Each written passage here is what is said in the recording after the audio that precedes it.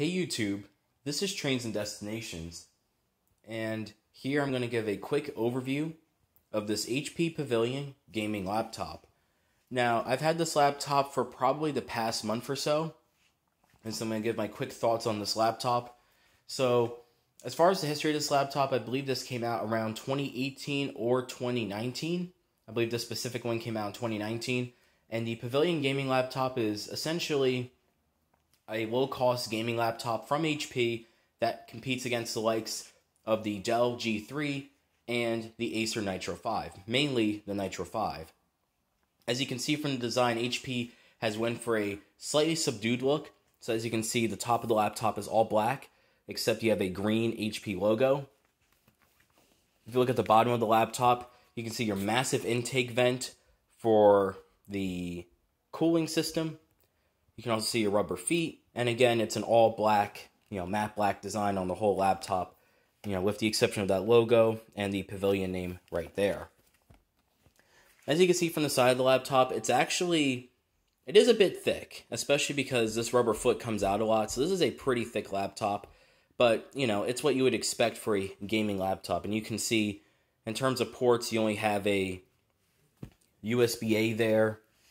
And then on this side, you have SD card, headphone jack, USB-C, Ethernet, another USB port, and an HDMI. Now, there are essentially two versions of this laptop. Uh, this version, as you can see, the hinge goes across almost the whole length of the laptop. And then there's another version of the Pavilion gaming laptop that only has a center hinge. Now, opening up the laptop, this is what it looks like. So as you can see, your keys are green. So this does not have RGB lighting, but instead it's a green setup. And honestly, it's a love it or hate it thing. I personally didn't like it. Um, I mean, it's cool when you're gaming, but especially when you're using this laptop for normal use, um, the green color plus this font makes it pretty hard to see the keyboard unless you have the backlight on, especially in darker lighting conditions. So it's not bad, but it's not the best either. You can also see that the trackpad is definitely on the small side here. So you can see there's definitely some extra space where they could have put in a larger trackpad, but they didn't. This trackpad, at least this one, is also a bit loose, as you can see. Like, that's a click, and then that's just tapping it. So you can hear the trackpad is a little bit hollow. So the build quality of this is fine, but it's not, it's not amazing. Now, in terms of the specs of this laptop, you can see here that this is the AMD version. This one has an AMD Ryzen 5 3550H running at 2.1 gigahertz, along with an NVIDIA GTX 1050 graphics card. So, as of 2020, the 1050 is definitely a little bit of an older card. It's not particularly that powerful, but does it get the job done? The answer is yes, it does get the job done um, especially for lower end games, especially uh, CSGO, Black Mesa, etc. You can easily max out the settings and you'll have no issues whatsoever. Um, so, in addition to that, back to the specs, it has a 256 gigabyte SSD as well as 16 gigabytes of RAM. So, the RAM is definitely nice having 16 gigs of RAM. Most of these have 8. I'd say really the only downsides would be that storage. So an SSD, of course, is nice and fast, but with only 256 gigs of storage, that will limit um, how many games you can actually fit on this laptop. So there are configurations of this that have an SSD and a hard drive. Other configs have just a hard drive. So I'd probably go for one of those configs because, again, if only a 256 gig SSD, it kind of does limit what you can do with this thing. Now, in terms of other options, you can get this laptop with Intel processors. Um, you can also get an AMD Ryzen 7 processor. So there are a lot of ways you can configure this laptop. Now, again, this is the 2019 version of this laptop. In terms of price, you can find these for about five to six hundred dollars. The 2020 versions have just come out, and um, if you do have the extra money, I would get the 2020 version of this laptop because the 2020 version of this laptop has a 120 has a 144 hertz display, whereas this is only 60 hertz. So the new one has a 144 hertz display, whereas this is only 60. Um, the new one has a larger trackpad, a slightly better build quality, although it's basically the same design. um, just with those few little improvements. And I would say that when it comes to gaming, again, it, the games that I've played on this, it played them perfectly well. Although with only a 60 hertz display, that made it a little iffy at times. You know, I did have a little bit of screen tearing issues, but other than that, no problem. And I'll say that in terms of gaming, the keys, they're very nice. So as you can see, they're loud, they have deep travel, pretty well stabilized. So for gaming, this keyboard is actually quite good. However, for normal use, it's not that good. As you can see though, the problem is that these keys are just big and they're not well spaced out. And so I had a lot of trouble typing on this keyboard, at least for me. I had a lot of trouble typing on it. I would um, hit keys I didn't want to hit because this is just a bit too cramped.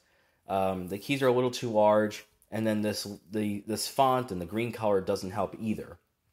And while the laptop does have very thin bezels, which is a nice thing, the downside is that the palm rests are pretty small, so it's not the most comfortable surface as a result. As I turn it on here real quick, one thing I did like though is the speaker. So this does have a full front-facing speaker and it's awesome. It's not like the best high it's not the most high quality sound, but it is loud and so you can game on this without needing headphones. It'll work perfectly fine. Now as the laptop turns on, this does have a 1080p display. However, this is a TN panel. This is not an IPS screen. And as a result, the colors are decent, but the viewing angles are not that nice. So head on, the display looks just fine, but especially as I tilt the, you know my phone camera up and down, you can see the sort of color shifting in the display because again, this is not a IPS screen, it's a TN panel. And other than that, there really isn't much else to say about this uh, laptop. Hi there. You can hear the speakers. I'm Cortana, and I'm here to help. A little sign in here, a touch of Wi-Fi there, and we'll have your PC ready for all you plan to do. Use your voice. So as you can see, the speakers are very loud. Um, not a ton of bass, but they'll get the job done. They'll get the job done. And same thing with the display. I'll also say that another advantage for gaming is that the cooling solution in this is great. The fans are never too loud, and thanks to the good cooling system, this thing never really gets hot. I mean, I've done a lot of like I would do a full gaming session on this laptop, then I would, you know, uh, put it on my lap, and honestly, it was not that hot at all. It was actually pretty cool. So the cooling system in this laptop, it does a good job of keeping this thing on the cool side. But Going to downsides though, the battery life in this is not good. I've only been getting at best four to five hours of battery life, which isn't bad, but the uh, Nitro 5 and the Dell G3 do get better battery life than this. Um, it does have a 50, 53, I believe 53 watt hour battery, but um, this AMD processor, it's not the most power efficient. So the battery life in this is not that good. And as you would expect, being a gaming laptop, this thing is pretty heavy. So, you know, what would I say in conclusion? I'd say that in my time of having this laptop, I did like it, kind of. For gaming, this thing is excellent. It's excellent for gaming. Um, it stays cool. The graphics and processor are good enough for most light titles. Uh, the keyboard is nice and responsive um, when you're doing a gaming session. The speakers are loud. So, for all of that, it's fine. But Downsides is that for just normal use, this laptop's not that good for normal use. This keyboard is not nice to type on at all. This is not a nice keyboard to type on. This trackpad, again, kind of loose and is very small. Battery life is not that good. Portability is not that good, and the build quality is only, it's fair. So, if you want a laptop strictly for gaming, then I would recommend this laptop, provided that you have a secondary laptop that you could use for more normal usage. So if you were to have this in, say, a Chromebook or a little Windows netbook, then this would make sense. But if you want a laptop that you can use for gaming and you can use for normal use, I would not recommend this because for normal use, um, you know, this trackpad and the keyboard just both frustrated me. And the display's poor viewing angles also frustrated me. So, you know, if you want a laptop for all around use, I would not get this but for just pure gaming, this will work. And it's cheap too. So, uh, anyway, thank you for watching my review.